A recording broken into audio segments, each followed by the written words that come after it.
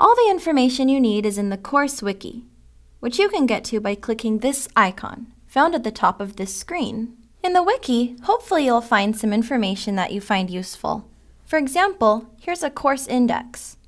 If you forget what a construct is, you can click here to review the definition of constructs.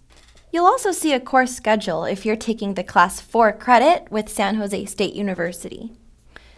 If you're not taking the class 4 credit, then you don't need to worry about adhering to any deadlines. But if you are, it's better to click on it and see when everything is due. The class officially ends August 9th. You'll also see an exam resources page.